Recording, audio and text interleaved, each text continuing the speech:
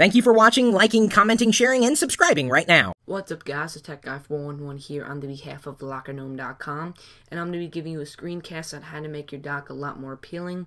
There are a few small tricks that you're going to do and I'm going to guide you through every step. This is going to be very simple.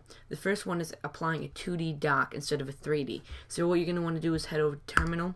Once you do that, type this in.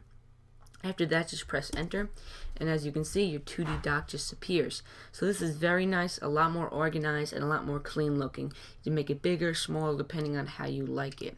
The next thing I'm going to show you guys how to do is only show the apps that are available basically by available I mean the ones that you're using at the time active stuff like that. So as you do see you see little white dots underneath it. So only the ones with little white dots will appear. So what you're going to want to do is type this in then press enter. After that you're going to want to type in kill all dock and then press enter again. And now there you go just the dock just applications that I am using are appearing.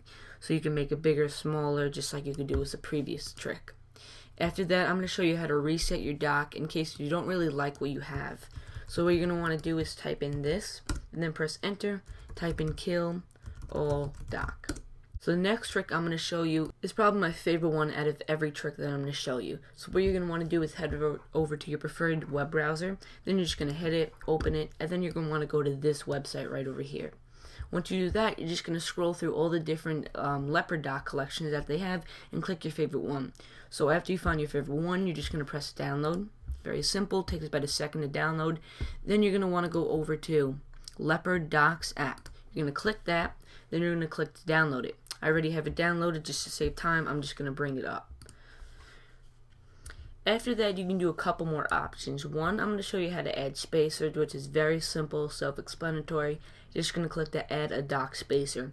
Basically, what a dock spacer lets you do is organize your dock a little bit better. So say you just want your iChat and your internet on one side. You can just move the spacer to wherever you want it. Then if you want to add another spacer, you just go ahead and click Add a Spacer. Now for the main thing is going to be to um, change your dock color. You're just going to go to the file name that you set it as. So for my case it is rocks. So after I have it I'm just going to press choose. Then I'm going to go to change my dock. And there you go, my new dock is set and it looks a lot nicer, a lot more colorful and definitely an improvement. You can do this with every single one of the dock downloads that they had available for you on that web page. So the final couple things I'm going to show you is this little cool thing that looks nice. It's not really that useful. So what you're going to do is hold down shift while you're leaving Safari and press minimize. And it goes very slow and goes into a little file right next to your downloads page. Another cool thing that you can do is if you press shift on the stacks that you have, so say for the um, downloads, it's a stack, so it has more than one thing in it. It shows you all the different ones while they pile up in slow motion, which is pretty cool. So if you guys have any questions about anything we talked about, just leave a comment below, and this has been the Tech Guy 411 on the behalf of LockerGnome.com. Thanks for watching.